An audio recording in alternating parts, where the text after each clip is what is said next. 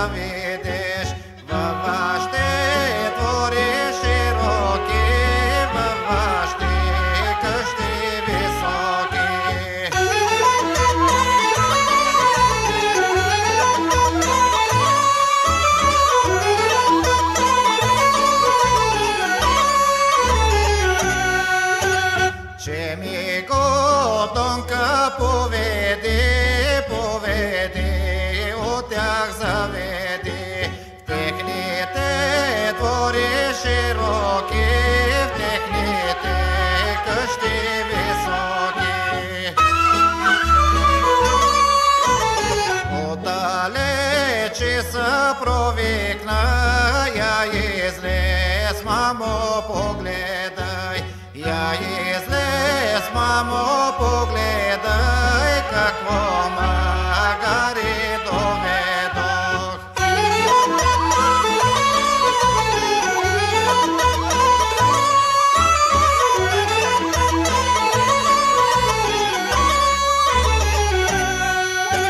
Ямота и сламата яде, конище сламата яде,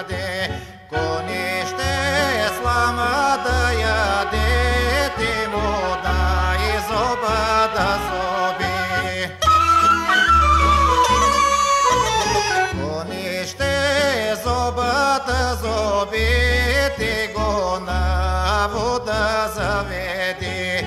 Конище вода да пие, бласни го да се.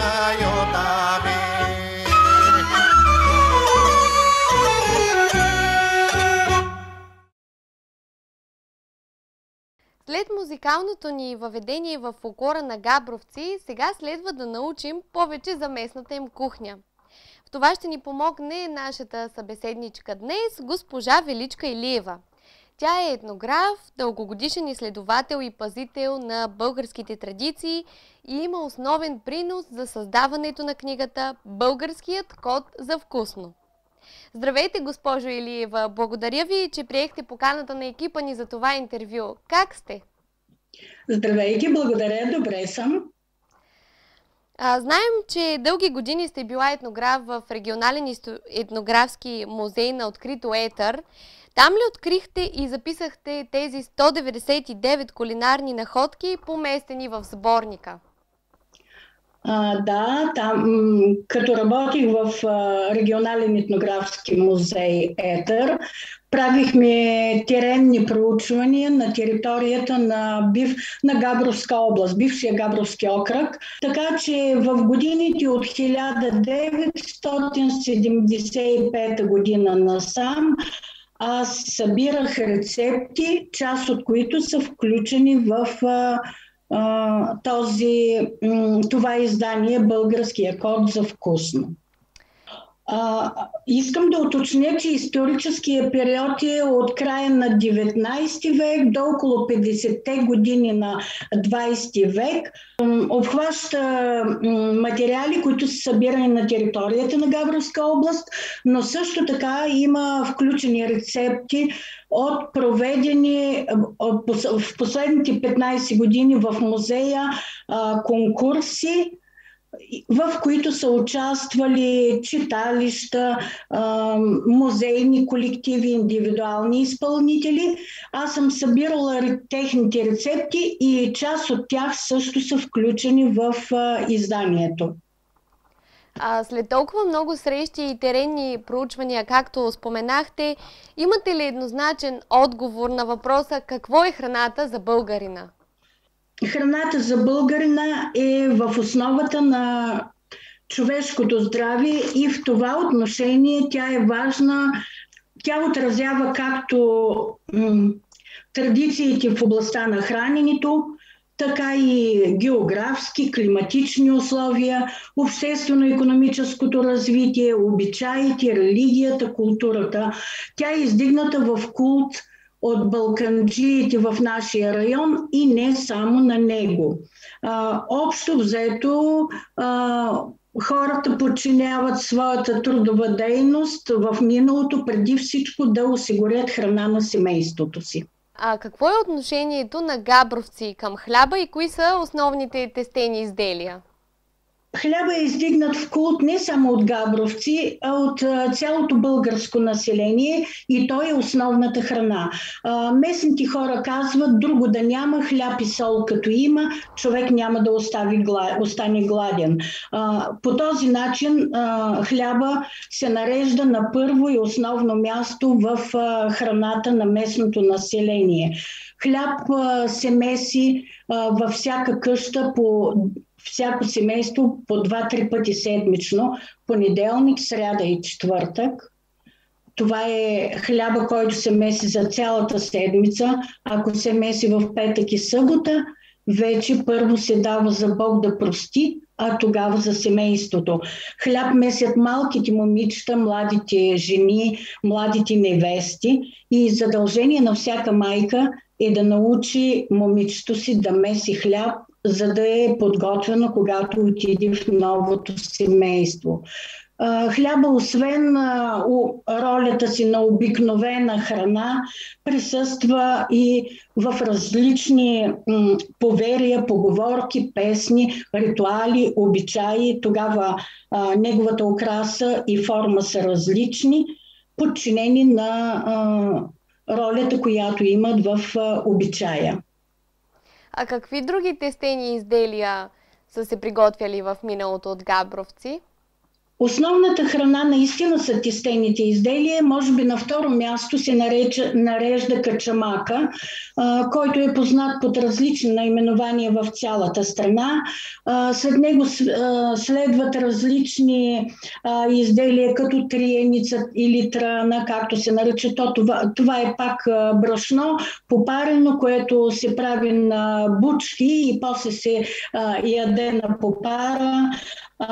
По-късно, след 1910 година, се забелязва в селата така един интерес към никиците. Най-напред, пред църквите в неделя, винаги е имало един човек, който донася така големи количества микици, които продава. И така микиците постепенно завоюват едно важно място в бита на хората и се превръщат и до сега са любимо а, ястие. А, може би след около 1920 година под влияние на а, модата от града се появява и овката и общо взето това са тестените, основните тестени изделия, а, които а, присъстват в местната кухня, а, но в храната на местното население важно място има и растителната и животинска храна. района има планински и полупланински характер. Населението се препитава от животновътство, земеделие и затова растителната храна а, е толкова популярна.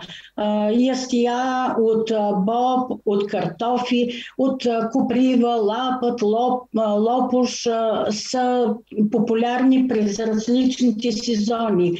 А местните и млечни храни, добити от животновътството, а, имат също важно място. Това са в основна, съществено място наистина има, а, имат и млечните изделия, а, приготвени от а, мляко, сирене. А, характерен за района е известният бял мъж, който се приготвя, който е храна, която се приготвя по Петров ден и така е свързана с овчарството. Да, споделихте за основните хранителни продукти, които са използвали габровци, най-вероятно и все още използват.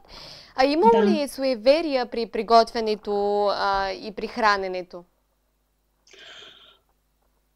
Много, защото а, всяко семейство тогава се е подчинявало на а, закони, а, които е спазвало сим, символ.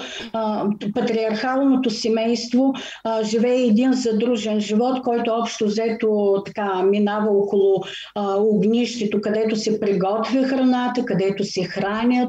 И независимо от а, числеността на семейството, всички се хранят заедно. А, има специални изисквания кой къде трябва да седне около малката маса, наричана тук паралия или софра в други райони, кръгла дървена маса, на която първо сяда най-възрастния, до огнището, до него сядат неговите синове, на, срещу тях сяда м- неговата съпруга, снахите, дъщерите, на отделна малка паралийка сядат децата, а, като само мъжете сядат на столчета, жените преклякват на коляно и така се хранят всички заедно. Винаги а, първо се слага хляба и солта, за да ни да ни влезе дявола, а, като най-възрастният член на семейството, бащата или дядото разчупва хляба, раздава на всички. Твърде много забрани има около а, храненето, като някои от тях са, например, не трябва да се говори с пълна уста, не трябва да се пресяга или подава нещо през паралията, през софрата, не трябва да се гребе до дъно супата, то тогава е чорба. Не трябва да се а, троши хляба или пък да се стъпва по трохите и много такива, които, а, които са все свързани с запазване на здравето и е, благополучието на семейството. Интересно ни е да научим и как, каква посуда са използвали в миналото габровци. Най-важният предмет, който се използва във всяко семейство, това са нощвите. Едно дървено корито, в което се меси хляба. Понеже хляба е най-важната храна, така и нощвите заемат най-важно място. Ако, например, в семейството, младото семейство остане при родителите, ползват се старите нощви. Но ако то влезе в нова къща, по никакъв начин не се позволява от старата къща да се вземат нощви, а се купуват или правят нови. А, струнката или ситото, с което се а, пресява брашното, го купува младата булка още а, първата неделя след сватбата, а, когато отива на пазар в града.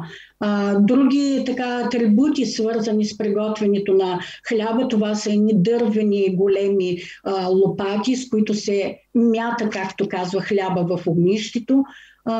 Най-важните предмети, които се ползват, това са глинените, които най-рано започват да се използват и най-късно излизат от употреба. Гърнетата, в които се вари боб и, и, всякаква, всички други ястия, дървени глинени паници и чини, дървените лъжици и 20 век вече сериозно навлизат медните, бакърените съдове. От това колко бакърени съдови има едно семейство, се съди по неговия статус, колко е богато. Това са особено типсиите, тавити, които са с релефна окраса и те винаги са свидетелство за едно богатство на семейството. Сахани, тенджери, това са тигани, това са съдовите, които в 20, през 20 век навлизат сериозно в а, всяко семейство в селата и то започва да приготвя храна в него, като периодично съдовите се калайдисват по хигиенни съображения. А, колко пъти дневно са се хранили габровци и какъв е бил етикета при хранене? А, Зимно време хората се хранят обикновено два пъти сутрин и вечер.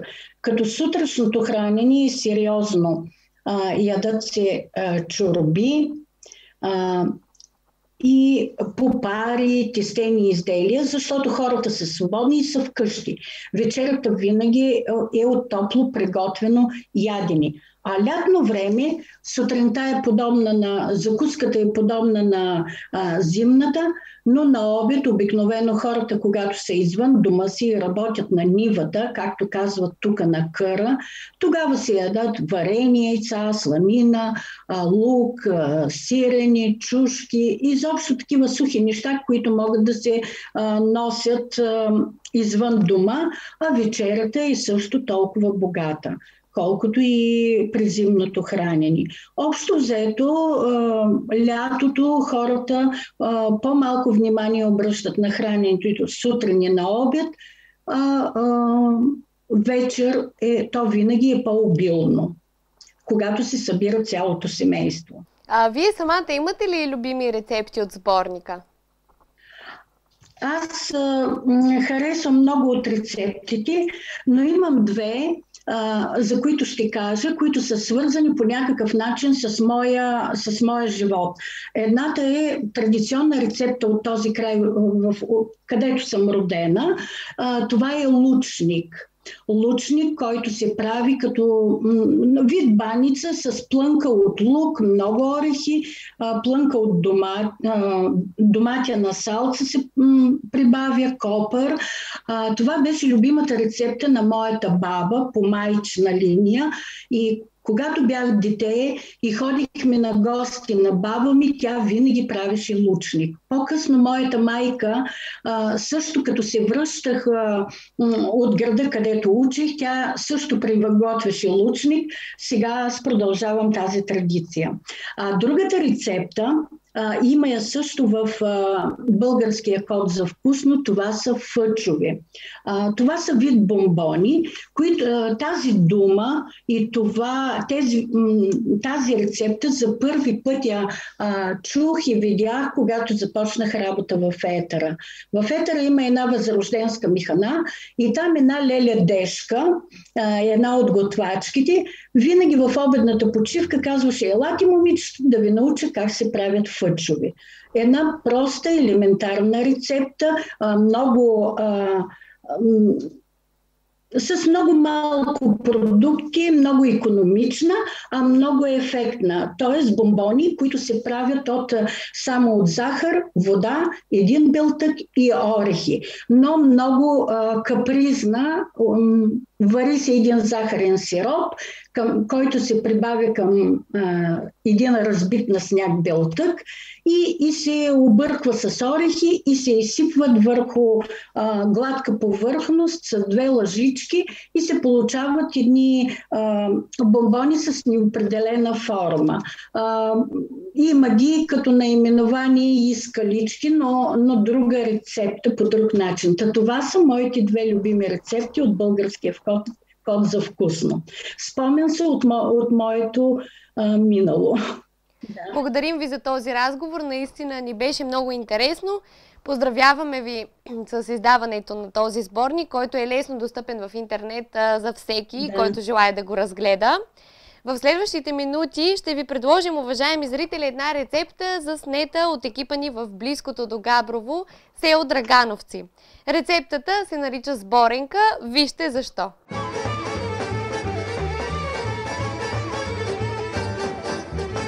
Уважаеми зрители, следва да видим една много интересна рецепта от село Драгановци. Сборенка. А защо сборенка? Защото всичко се събира след като се... Всеки от продуктите се а, работи сам за себе си, всичко се готви по-отделно и накрая всичко се събира заедно. Това е сборенка. Много стара рецепта от моята баба, я знам като и моите колежки, които казаха, ма а, може би сега а, в съвремието има, тогава са нямали фурни, и не се е печало, а сега в по-ново време, след като съберем всичко, запичаме отново на фурна, напоследък. Малко сме така а, станали по-модерни, защото се споява по-добре. Да ни се представите само за нашите зрители. Да, се казвам Рушка Пейчева, балканжийка съм, корена ми е от тука, майка ми е от Драгивци, баща ми е от Гъбени, точно балканжии. И и съм на 65 години.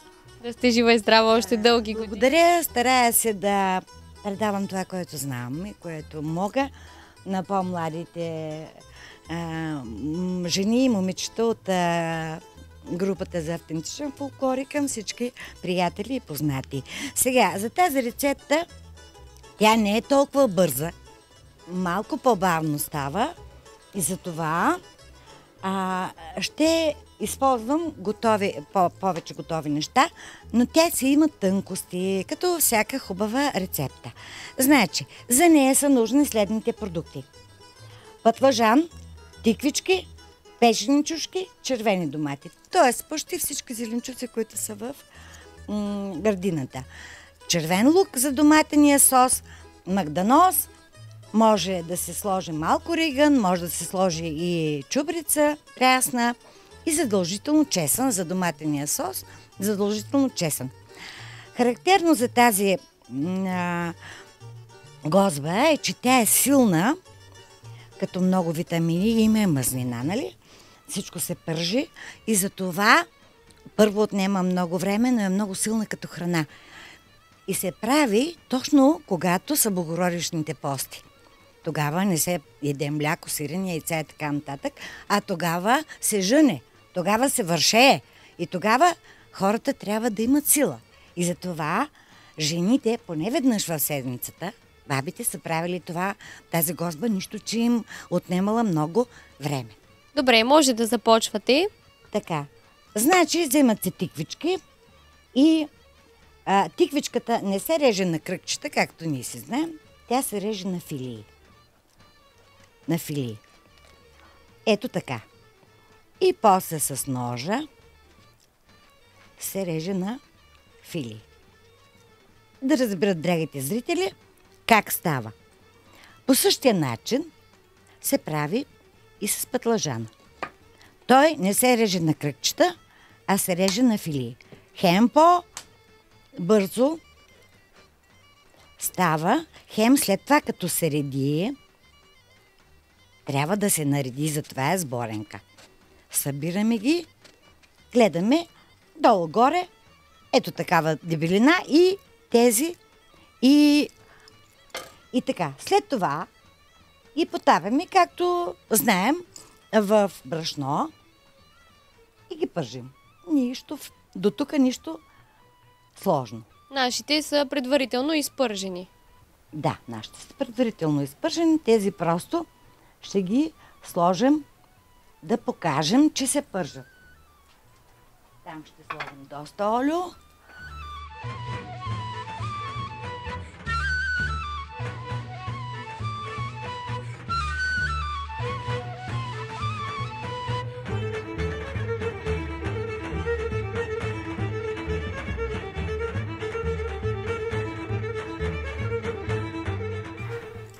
Чушките ги печем и белим. Но в самата сборенка ги режем на ленти. Или ги късваме.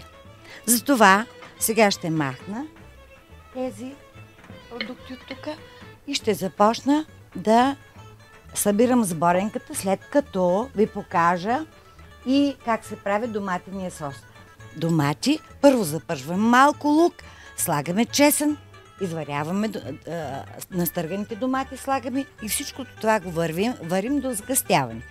Прибавяме а, магданоз към доматения сос, меродийка малко, чубрица и ако, а, ако има риган от а, озана, да сме си изсушили, ще сложим. Като нямаме, може и без риган. След това взимаме едно, един гол- голям гювеч и най-отдолу, сега ще донесе доматения сос. Така, това е сборенката. Всичко се прави отделно и се събира. Най-отдолу винаги слагаме пътладжана. Най-отдолу. Слага се пътладжана, като се нарежда, така че да покрие дъното плътно. Не се месят. Не се месят продуктите, т.е. пътлажан, тиквички да се редуват. Не. Слагат Всичко се слага по-отделно. Слага се по-отделно. Да, задължително. За тази рецепта са нужни точно три такива пътлажана. Може малко, ако са по-големи, два. Ако са по-малки, три, четири. Какви Така. други рецепти знаете от вашата баба? Казахте, че от нея сте научила тази рецепта. Ами, какви други рецепти? Ужур-бужур. Правеше а, купривена каша с... А, казва се на, на изварата в Габровския район, се казва и шумик. От биволско мляко бита. Правеше пълнени чушки с боб, които аз правя задължително на всяка коледна вечер. А, много интересна а, тиква правеше с сини сливи, а, готвеше говеждо с сини сливи. Сега малко не се готви така, но ние имахме сушило и си сушахме сини сливи и толкова много рецепти знам с сини сливи, но не е момента. Те се готвят през зимата. Сега слагаме След пътладжана. след пътлажана слагаме много леко, много леко от соса. Много леко от соса слагаме, колкото да... Така. После слагаме чушки. Нареждаме чушките. Може да се пръснете така спокойно.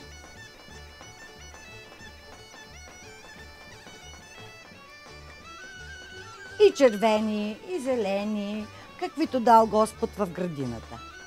Много цветна гозба ще стане. Много цветна, защото има и шарени, и така, грехота е соса да се изхвърля от чушките, нали сме си габровци. И пак слагаме малко от доматения сос, но много не оставяме повече за отгоре. Защото трябва да се покрие отгоре с така. Плюс това, точно тази гозба може да се занесе и на нивата. Защото няма нужда да се топли, няма да се разплиска, не е чорчорбесто, а дава сила. И най-отгоре поставяме тиквичките. Тиквичките са дошли в България малко по-късно и може би за това нашите баби са ги оставили на последно място да покрием, защото по-рано било само пътлажан и чушки. Така, поставяме и най-отгоре, разбира се, вече слагаме самия доматен сос. Трябва да покрие изцяло гозбата. Лесно. Изглежда така. Ама отнема страшно много време, защото всичко това трябва да се приготви по-отделно. Но нищо сложно като Много красиво изглежда. Това е нашата сборенка. Тя по-точно е от Драгиевци. А Драгиевци е старото село, дето са слезли хората на Драгановци. А, и е част от най-старото село, изгорено от турците, наречено Дъскотна. Но за тия неща някой друг път. Това е нашата сборенка. Вижте как изглежда. А пък надявам се, че ще се оближите и пръстите, като я опитате. Така ли се консумира ястието или има нужда от допълнителна топлинна обработка? Ами някога бабите няма ли фурни? Нали, така го правят и го носят на полето. А пък казах ви, ние сега това го слагаме в... Може да се сложи във фурната и да се спои едно запичане допълнително да стане за много малко време, не, не да изгаря, за малко време, но да се, да се да възват всички аромати заедно, за да могат да се а, смесят и да се получи букет. Много ви благодарим за тази рецепта. Сборенка. Необходими продукти. Чушки 10 броя. Пътладжани 3-4 броя. Тиквички 3-4 броя. Домати 5-6 броя. Кромит лук 1-2 глави. Сол, магданоз, чесън, прясна чубрица, черен пипер на вкус. Олио 100 мл.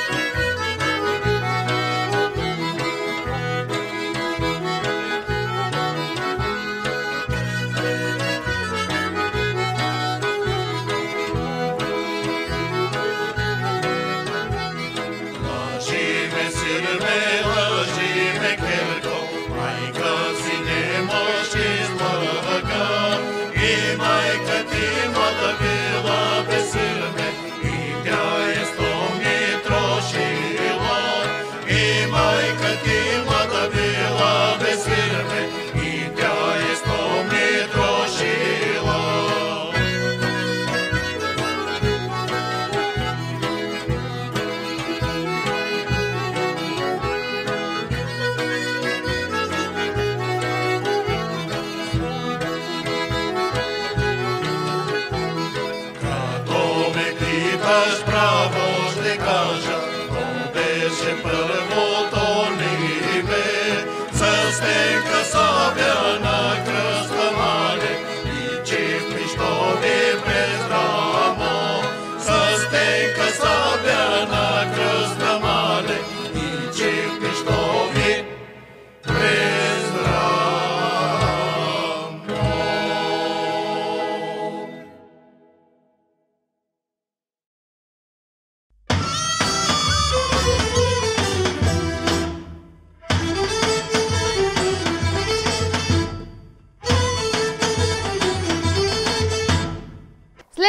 днес вече наготвихме по Габровски, сега следва да ви пренесем музикално и виртуално в съвсем друг район на България – Самоковския.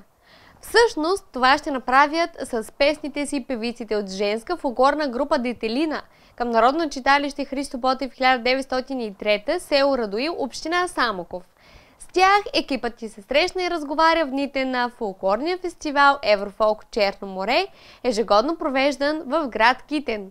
И така, следват три песни и интервю с певиците. Чуйте и вижте всичко! Засвири ловчар край гора, ай ле ле ле ле край гора.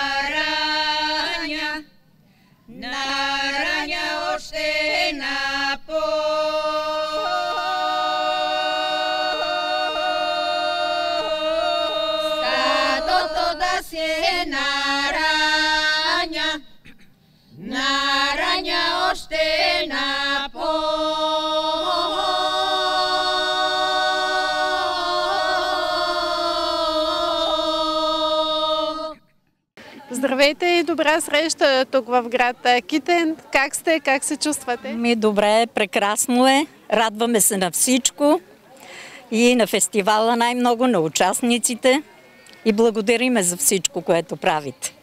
Успяхте ли вече да участвате в други фестивали тази О, пролет? Да. А, ходихме на село Чавдар пред Банско фестивала и те първа още участия имаме, които За тая година. Не можем да ви кажем точно. Ще ви помоля да се представите. Казвам се Мария Василева от Радуил. Вас избраха да представите състава, песните, носиите.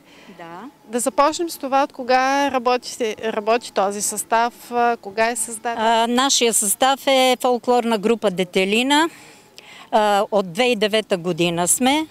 Образувана е групата от брат ми Георги Божилов, който създаде Боб Феста в село Радил, фестивал за Боба. И от тогава ние сме наследници на предишните групи и песните са ни от много отдавна, още от наши баби, прабаби и така се предават от поколенията до днес. Имахме удоволствието да чуем а, такива песни днес да. тук на сцената. Какво е особеното при тяхното изпълнение? Ами това, че си отпевяме на две групи, това са едните са жатварски песни, едните са прибир, след като се приберат от жетва и си тръгнат на групи и си пеят. Едната група започва, другата и отпевя и това при нас е викачки и влачачки. Едни викат, другите влачат. Това е при нас извличането на песента. Днешните млади могат ли да се научат на това пеене? Еми, можат, стига да имат желание. Можем да ги научим. Имаме ето я тук, която е от младите танцорка и дойде при нас. Има и други, които искат, но за момента нали, повечето наблегат на работата хората. Не вей ветре,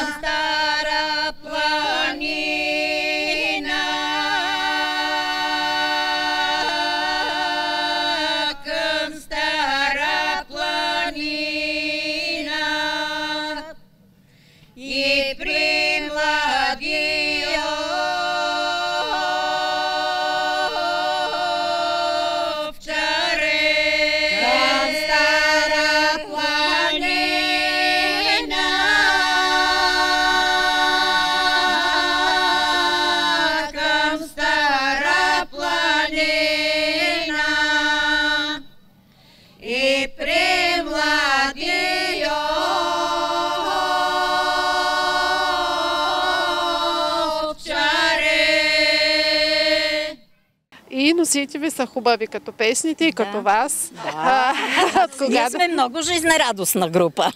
Къде ходиме се представяме добре. Носиите ни са от... Това е на майка ми, а, на свекърва ми, от прабабите са чупразите, плитките на свекървата, всичко е да видим плитките, може ли? Да. И така всички това са им на родителите, на бабите и Характерна е зелената престилка. При вас Да. как наричате престилката? фута. Фута е нашето. И така, и това е за братките. чупраз, чупраз. Чупразите Не им павки, а викаме. чупраз. Да. Какъв е основният материал използван за носиите? Вълна ли, памук ли, какво А, е? Вълнено, вълнено, шаяк, домашен ткан шаяк. И това, И това е кошулята. кенар, ленено. Пак и всичко шиени ръкави, дантелата е шина и така. Браво на вас! Продължавайте да съхранявате фолклора на Радуил и когато имате възможност, заповядайте тук, за да ни радвате с тези песни. Ние ходихме и на Несебър, и на Китен ходихме на Атлиманска угърлица, представяхме се. В Хисара ходихме на много места. В Сърбия, в Македония. Така че обикаляме. Живи и здрави бъдете. На колко години най-възрастна? Ето я. На колко И си? дадете годините. 79. Да си жива и здрава. Как се казваш? Трендафила. Добре. До нови срещи. Благодариме. И слънце зад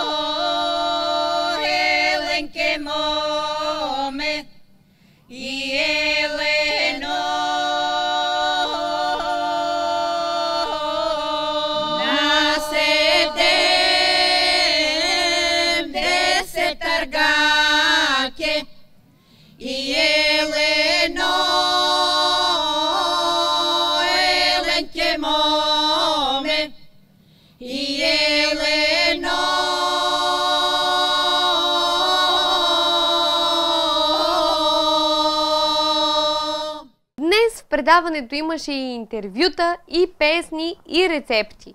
Надявам се, че сте останали удовлетворени и от това издание на Фолклорна трапеза. Ще се радваме, ако бъдете наши зрители и следващата седмица. За днес, довиждане! Завършваме с китка Автентични хора.